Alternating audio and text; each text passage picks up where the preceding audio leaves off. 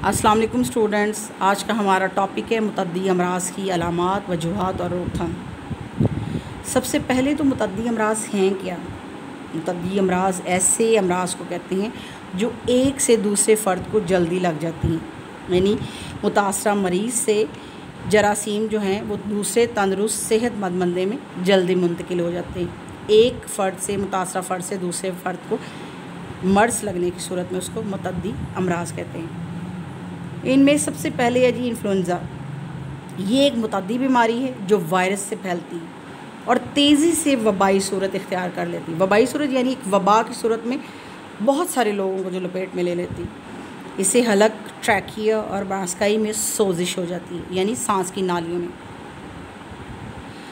इसके इसबाब क्या हैं जी? ये मर्ज इन्फ्लुन्ज़ा जैसी लस जरसोमा से फैलता है। इसमें क्या होता है, मुतासर फ़र्द की सांस की बुखारात से दूसरे फ़र्द मुतासर होते हैं, करीब बैठने से दूसरा तंदरुस्त फ़र्द इसके जद में आ सकते हैं। मुँह और नाक से खारिज शुदा रतूतों से भी ये मर्ज़ लाक हो जाता है और मुतासर फ़र्द के इस्तेमाल की अशिया भी इस मर्ज़ का बायस बन सकती हैं। इसकी अलामत क्या हैं जी? ये मर्ज़ कई सूरतों में इंसान पर अपने असरात मरतब करके उसको अपनी गिरफ्त में ले लेते हैं। हल्के बुखार के साथ ज़ुकाम की अलामत ज़ाहिर होने लगती आम असबी उजलाती कमज़ोरी, जिसमें शदीद दर्द भूख ना लगना, मुँह का जायका बदमज़ा खाने पीने को दिल ना चाहना, और मामूली खांसी शुरू हो जाती मुतासर फ़र्द सर्दी महसूस करते हैं और बुखार भी हो जाता है। नकाहत का शिकार हो जाता है। नब्स की रफ़्तार 120 से 140 तक पहुँच जाती है, यानी नब्स की रफ़्तार भी तेज़ हो जाती है। सर में शदीद दर्द के साथ चक्कर शुरू हो जाते हैं, गनूदगी और बेहोशी तारी हो जाती है। जिसम का मुदाफ़ियाती निज़ाम कमज़ोर होने की वजह से कोई भी दूसरी बीमारी मसल नमोनिया हो सकता है। बाज़ात अलामत का इजहार जोड़ों के दर्द की सूरत में होता है। कभी जिसम के एक हिस्सा में और कभी जिसम के दूसरे हिस्से में दर्द होने लगता है और ज़ुकाम तेज़ हो जाता है। एक दफ़ा ये बीमारी होने से जिसम में इसके ख़िलाफ़ क़वत मुदाफ़ियत पैदा नहीं होती, बल्कि ये मर्ज बार बार होता है। इन्फ्लुन्ज़ा फ़र्द की हिफाजती तदाबीर या इसकी, किस तरह इसकी रोकथाम की जा सकती है? जिस शख्स को इन्फ्लुन्ज़ा लगा हो उसको लाजमी तौर पर अलहदा रखा जाए। मुतासर फ़र्द को मुकम्मल तौर पर बिस्तर में आराम करना चाहिए। फ़र्द को बीमारी के दौरान दूसरे अफराद को मिलने की इजाज़त ना दी जाए। उसके कपड़े और दूसरी अशा को जला दिया जाए। गज़ा उसको बिल्कुल सादा और जूद हज़म दी जाए। फलों का रस उसको कसरत से इस्तेमाल करवाया जाए। कोई भी मेहनत या मुशक्क़त का काम इस कदर ना करवाया जाए कि जिससे उसे थकावट हो, कब्ज़ ना होने दी जाए। पानी में थोड़ा सा पोटाशियम पर मैगनेट जिसको लाल दवाई कहते हैं, डालकर इससे गरारे करवाए जाएँ। पानी खूब पीना चाहिए और खाना कदरे काम खाया जाए। मुतदी अमराज में दूसरे नंबर पर है जी टाइफाइड या तप मुहरका ये एक किस्म का मुतदी और मयादी बुखार। मयादी यानी मुद्दत जिसकी होती। जिसकी मैद तकरीबन 21 दिन होती है, तब मुहरका एक जरसुमा से फैलता है, जिसको सालमोनीला टाइफाई कहते हैं।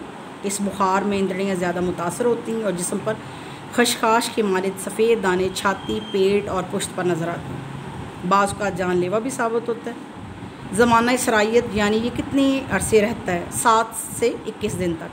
इसके इसबाब के सालमोनीला ग्रुप के जरासीम से सराइत शुदा खुराक खाने या सराइत से आलूदा पानी या दूध पीने से ये मर्ज़ पैदा होता सराइत यानी मिलना किसी चीज़ का।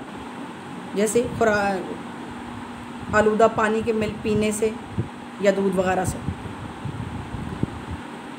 मरीज़ के फजले में इस मर्ज़ के जरासीम मौजूद होते हैं। अगर ये जरासीम तंदरुस्त फ़र्द के खाने में शामिल हो जाए तो ये मर्ज़ लाक हो जाता है।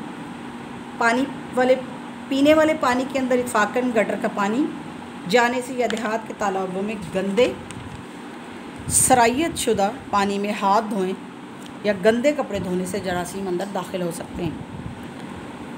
जरासीम पानी और ख़ुराक के ज़रिए जिसमें दाखिल हो जाते हैं। पानी का किरदार इस मर्ज़ के फैलाने में पेश पेश है। मक्खियाँ इस मर्ज़ को फैलाती हैं। इसकी अलामत क्या हैं जी? ज़ुबान सफ़ेद हो जाती सांस बदबूदार और गले में दर्द और बार बार पॉटी वगैरह आती है। नब्स की हरकत में तेज़ी, नींद में खलल का वाक़ होना मरीज़ को सख्त कमज़ोरी हो जाती।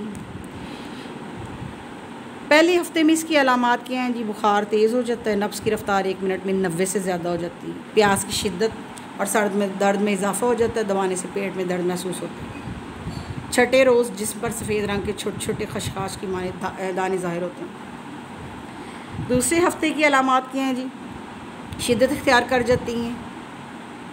पेशाब मकदार में कम आते, गोश्त और जिसम की चर्बी घुल कर जिसम को दुबला और कमज़ोर कर देती। है तीसरे हफ़्ते की अलामत क्या हैं जी? बेहोशी तारी हो जाती है और दर्जा हरारत 105 दर्जे तक पहुँच जाता है। यानी बहुत तेज़ बुखार हो जाता है। सख्त कमज़ोरी हो जाती है बहरापन की अलामत ज़ाहिर होना शुरू हो जाती है। होश व हवास कमज़ोर होने की वजह से लोगों को पहचानना मुश्किल हो जाता है। इस हफ़्ते में बुखार कम होना शुरू हो जाता है बाद में। और आमतौर पर ये बुखार इक्कीस दिन के बाद उतरना शुरू हो जाता है। इसके लिए हिफाजती तदाबीर क्या करनी चाहिए जी? मरीज़ को मुकम्मल आराम करना चाहिए और गज़ा का ख़ास ख्याल रखना चाहिए। मरीज़ को बहुत ज़्यादा पानी पिलाया जाए और संतरे का जूस देना मुफीद है। तब मुहरका से बचाव के टीके लगवाने चाहिए और असूल हिफान सेहत का ख्याल रखना चाहिए। बद परहेज़ी करने से या मुकम्मल आराम ना करने से मर्ज़ का हमला दोबारा हो सकता है। पानी और दूध को खूब उबाल कर इस्तेमाल में लाया जाए। सब्ज़ियाँ वगैरह जरासीम कुछ महलूल में धोए बगैर इस्तेमाल होनी चाहिए। नंबर तीन पे है जी हैज़ा। हैज़ा मतदी किस्म का मर्ज़ है जो वबाई सूरत में फैल कर बहुत से अफराद को अपनी लपेट में ले है। ये मर्ज़ हैज़े के जरासीम, वैब्रा, कॉलरा से फैलता है। ये जरासीम मुख्तलिफ़ खाने की चीज़ों में शामिल होकर मुँह के रास्ते में में पहुँच कर एक से पाँच दिन तक बढ़ती हैं और फिर अंतड़ियों की अंदरूनी तह को तबाह करना शुरू कर देते हैं।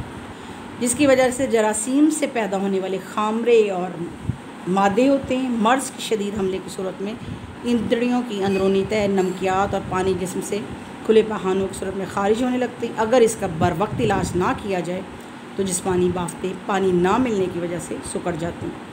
और गशी तारी हो जाती है, जिससे मौत वाक़ हो सकती है। ये बीमारी ज़्यादा मौसम बरसात में आती है, या ऐसी जगह जहाँ पानी खड़ा हो। ज़माना सराइत चंद घंटों से तीन दिन तक।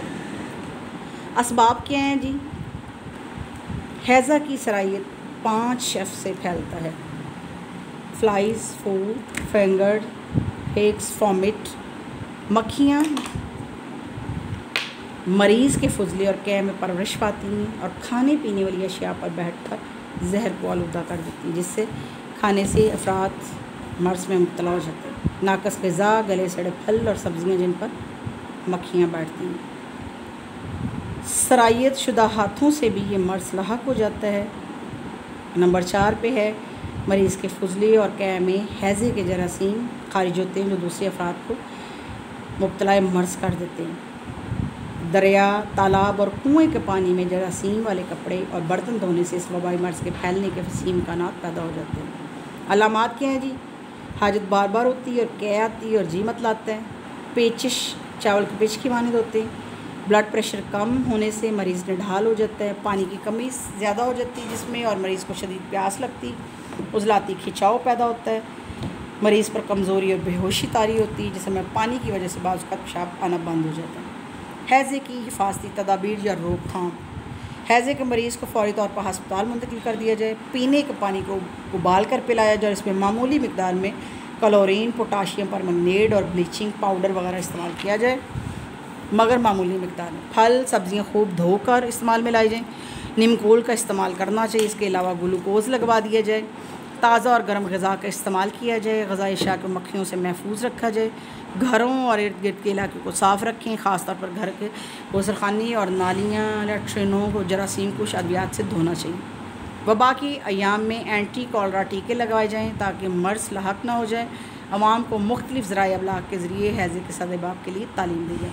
यानी लोगों की अवेयरनेस के लिए ज़रूरी है कि मुख्तलि मीडियाज़ जैसे ये प्रिंटिंग मीडिया है, या इलेक्ट्रॉनिक मीडिया है, जैसे टीवी और